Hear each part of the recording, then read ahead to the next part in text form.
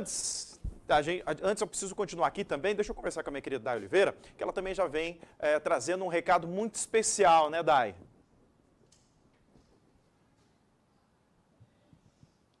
Isso mesmo, Rude. Olha só, Três Lagoas vai receber a primeira festa do Dia da Criança Autista. Vai ser aqui no Instituto Federal de Mato Grosso do Sul, local em que eu estou no momento, e eu vou pedir para Ariane Pimenta falar mais a respeito desta festa que vai ser amanhã, no sábado. Ariane, conta tudo. Horário, quem pode participar. Vocês são de uma associação, né? Vocês que estão fazendo esta organização. Bom dia.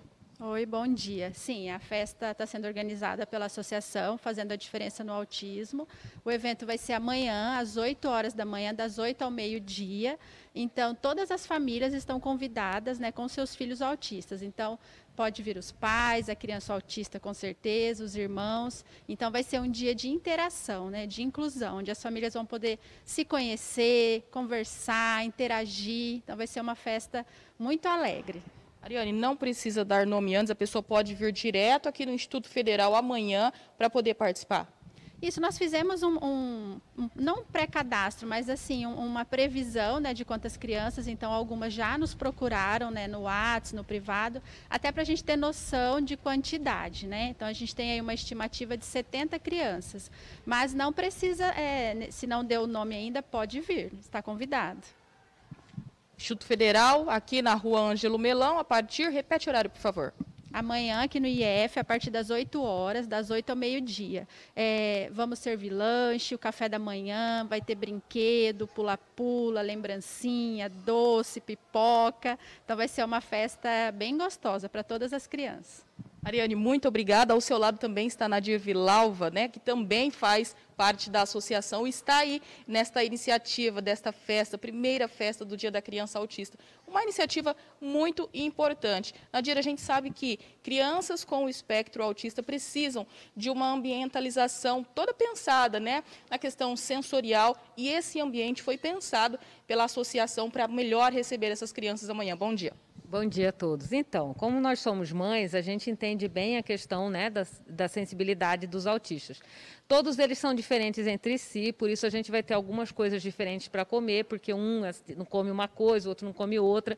E as mães mesmo que quiserem trazer o próprio lanche, porque tem crianças que são extremamente seletivas, né?